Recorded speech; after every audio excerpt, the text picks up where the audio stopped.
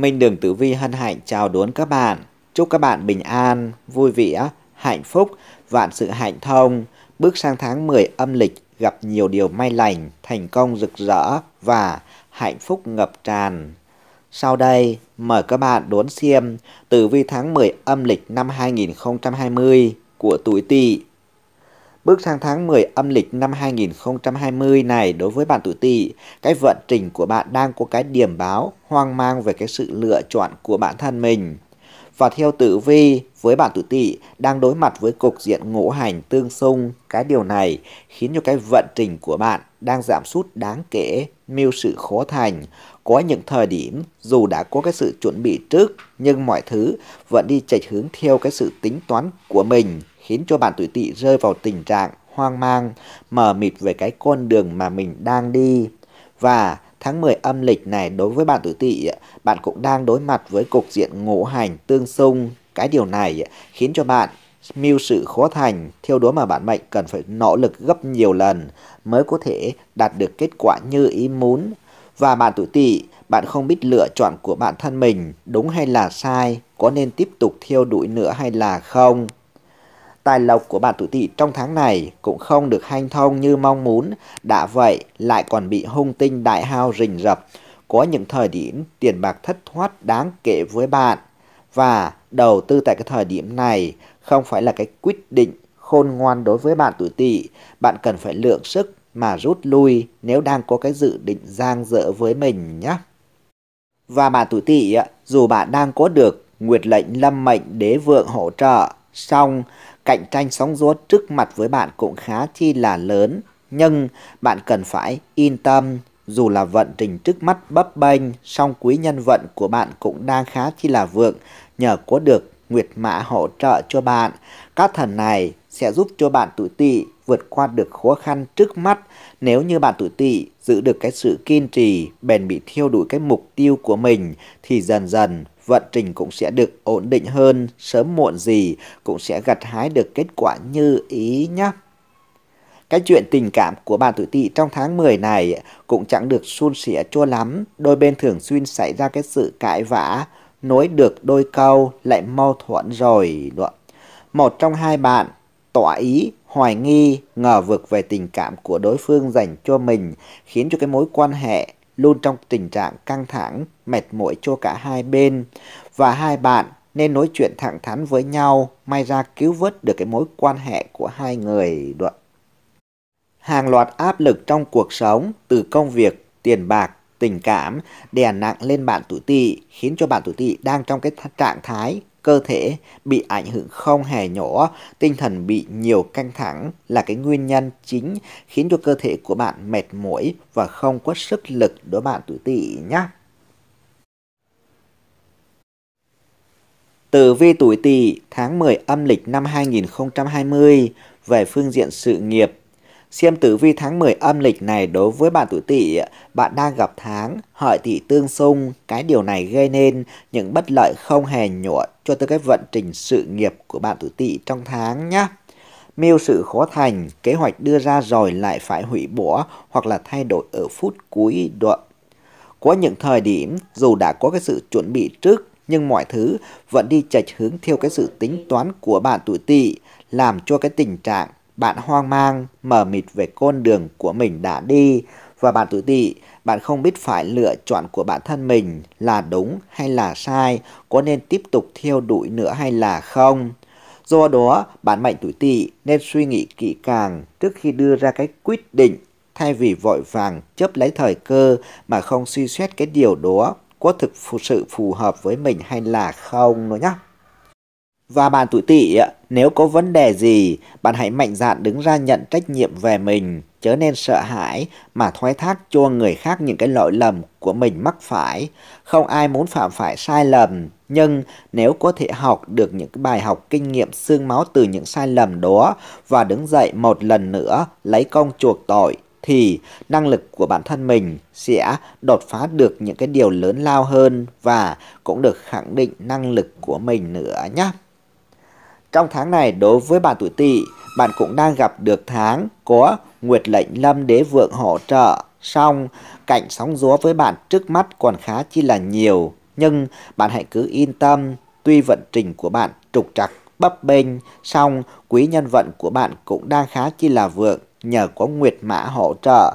Các thần này sẽ giúp cho bạn tuổi tỵ vượt qua được khó khăn trước mắt nếu như bạn tuổi tỵ giữ được cái sự kiên trì, bền bị thiêu đuổi cái mục tiêu của mình thì dần dần vận trình cũng sẽ ổn định hơn, sớm muộn gì cũng sẽ gặt hái được kết quả như ý muốn.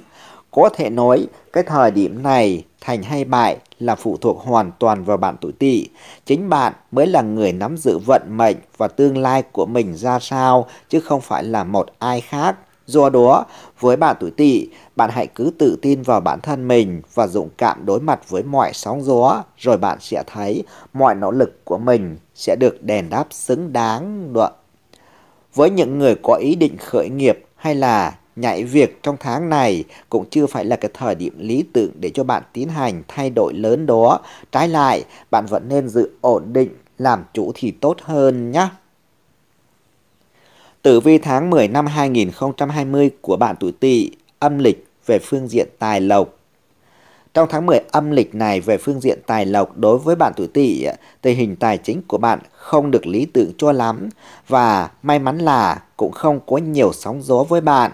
Việc kiếm tiền của bản mệnh khá chi là khó khăn, thu nhập chỉ đủ chi tiêu chứ không tiết kiệm được là bao nhiêu. Đã vậy, lại còn bị hung tinh đại hao rình rập, có những thời điểm tiền bạc thất thoát khá chi là đáng kể với bạn. Chi phí phát sinh dù không muốn làm chi nhưng chẳng thể nào bỏ tiền, chẳng thể nào không thể bỏ tiền ra được. Đoạn. Lại thêm cái sự xuất hiện của kiếp tài giáng họa cái điều này cảnh báo cho bạn tuổi tỵ đang có nguy cơ bị lừa gạt về tiền bạc. Do đó, bạn mệnh tuổi tỵ cần phải thận trọng trong những cái quyết định liên quan tới tiền bạc, chớ nên tin người quá đáng mà lại bị lừa gạt không biết lúc nào không hay đó nhá. Và bạn tuổi tỵ, bạn cũng cần phải rạch ròi giữa tình cảm và tiền bạc. Đây vốn là hai vấn đề vô cùng nhạy cảm, dù là vì tiền mà mất tình cảm hay là vì tình cảm mà mất tiền thì bạn đều là người phải chịu tổn hại hơn cả đó nhá. Đầu tư tại cái thời điểm này không phải là cái quyết định khôn ngoan với bạn tuổi tỵ. Bạn cần phải lượng sức mình mà rút lui nếu đang có cái dự án giang dở. Và trong tháng này đối với bạn tuổi tỵ cũng tránh vay mượn hoặc là cho người khác vay tiền, kẹo vướng vào sâu, nợ nần, bị kẻ xấu lừa gạt, hãm hại. Đoạn. Lời khuyên của chúng tôi dành cho bạn tuổi tỵ trong tháng này là bạn vẫn nên lấy tích lũy làm trọng, không nên tiêu tiền quá hoang phí chỉ vì cảm hứng nhất thời, mua theo tâm trạng nhé. Liệu cơm mà gắp mắm tùy vào điều kiện của túi tiền của mình mà có kế hoạch chi tiêu sao cho khoa học sẽ giúp cho bạn tuổi tỵ duy trì được cái nguồn tài chính ổn định nhé. Theo phi tinh tháng 10 âm lịch năm 2020 này, các tinh bát bạch nhập trung cung, tức ở vị trí trung tâm ngôi nhà hoặc là căn phòng của bạn. Phương vị này nên thường xuyên được dọn dẹp sạch sẽ để tạo cái nguồn năng lượng tích cực thúc đẩy tài khí vượng phát cho bạn nhé. Tử vi tuổi tỵ tháng 10 âm lịch năm 2020 về phương diện tình duyên. Trong tháng 10 âm lịch này đối với bạn tuổi tỵ, tình duyên của bạn đang gặp trục trặc do trở ngại vận trình tương khắc gây ra. Cái điều này khiến cho bạn tuổi tỵ khó lòng có được niềm vui về tình cảm. Đôi lứa khắc khẩu ngày càng xa khách, dạy nảy sinh nghi ngờ, hiểu lầm, ghen tuông vô lý, vốn đã mệt mỏi vì công việc áp lực kiếm tiền là thế mà nửa kia còn không cảm thông và chia sẻ cho bạn, luôn tỏa ra nghi ngờ, khiến cho bạn tuổi tị vô cùng là mệt mỏi và trên hết là thất vọng rất chi là nhiều nữa đoạn. Cứ thế, cái chuyện tranh cãi diễn ra như cơm bữa, những cái cuộc tranh luận dần biến thành tra khảo, một người trách móc, một người không còn muốn nghe, cũng chỉ bởi một trong hai bày tỏ cái sự hoài nghi, ngờ vực về tình cảm của đối phương dành cho mình. Đó. Nếu cứ để tình trạng căng thẳng này kéo dài, tình yêu của hai bạn sớm muộn gì cũng sẽ sụp đổ và bạn tự tỵ, bạn cần phải sắp xếp lại thời gian để nói chuyện thẳng thắn cùng với người ấy. Đã đến lúc mọi thứ chẳng thể nào cứu vãn được thì dù có làm gì cũng đã muộn đó bạn tuổi tỵ nhá. Quân đường tình duyên của bạn tuổi tỵ trong tháng 10 âm lịch này đối với những bạn đang còn độc thân thì vẫn khá chi là ảm đạm.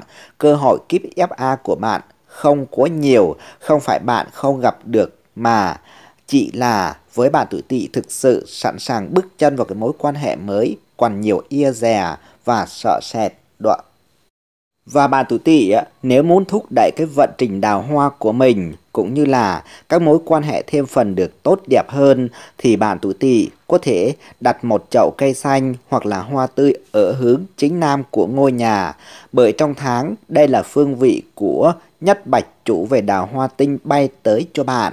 Đoạn. Tử vi tháng 10 âm lịch năm 2020 của bạn tuổi Tỵ về phương diện sức khỏe. Vận xui còn điêu bám với bạn tuổi Tỵ ở phương diện sức khỏe trong tháng này, hàng loạt áp lực trong cuộc sống từ công việc, tiền bạc, tình cảm đè nặng khiến cho bạn tuổi Tỵ trạng thái cơ thể rất chi là mệt mỏi, ảnh hưởng không hề nhỏ nhé. Tinh thần của bạn tuổi tỵ chịu nhiều căng thẳng là nguyên nhân chính khiến cho cơ thể của bạn mệt mỏi, không có sức lực và bạn tuổi tỵ bạn cần phải nhanh chóng xả stress càng sớm càng tốt. Đoạn.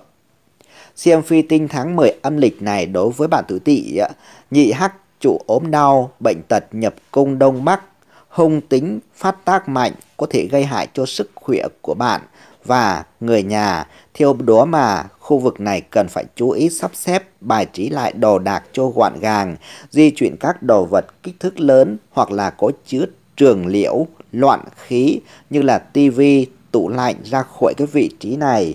Có như vậy sẽ hạn chế được hung tính của hung tinh này gây hại cho gia đình và cho sức khỏe của bạn. Đoạn.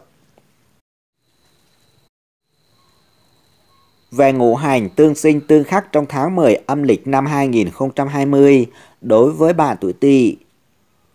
Tuổi Đinh Tỵ thuộc thổ 39, nam thủy diệu, nữ mộc đức, mọi mưu sự về tiền bạc tháng này còn trong nhiều hướng tốt đẹp, tình cảm có tin vui, tài lộc gặp may mắn, có hạnh tài đưa đến. Nữ mạng tháng này tuy không có chuyện biến trong mưu sự, nhưng mọi sự đều tốt đẹp, tiền bạc như ý, cẩn trọng trong chuyện tình cảm, đề phòng bị lợi dụng, gia đạo, an vui. Tuổi Ất Tỵ thuộc hỏa 51, nam vân hớn, nữ la hầu. Trong tháng này tuy không có ảnh hưởng về kết hung vì không có biến động xảy ra, tuy nhiên trong công việc không được thuận lợi, tiền bạc cũng không được may mắn, tránh đầu tư việc mới, trong gia đạo có tin xa, nữ mạng tình cảm, tâm tư yêu phiền, công việc gặp bế tắc, tiền bạc không như ý, có tiểu nhân muốn tranh phản, gây thêm phần tổn thất cho bạn. Về tử vi tuổi quý tỵ thuộc thủy 63, nam mộc đức, nữ thủy diệu. Trong tháng này tuy không có biến động nhưng vận tốt không đến, chưa nên bắt tay vào các dự án mới, nên làm tiếp các việc cũ hay là việc nhỏ để bớt phải lo lắng yêu phiền và không nên tin người, tiền bạc không như ý, cẩn thận bởi rất có thể sẽ bị lợi dụng. Nữ mạng tình cảm còn gặp yêu phiền, tránh tự mãn mà gặp tai tiếng yêu phiền. Mưu sự không thuận, trách tránh nơi đông người, cẩn thận về bệnh tật, chớ đi xa.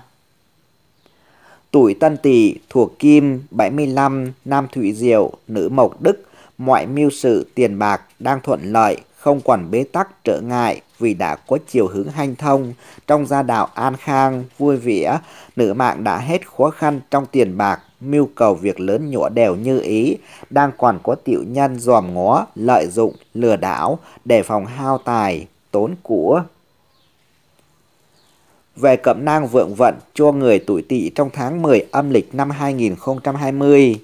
1. Tuổi quý tỵ thuộc thủy, nam thái dương, nữ thổ tú, khẩu quýt, vận trình sụt giảm đáng kể, mưu sự khó thành, cần nỗ lực nhiều hơn.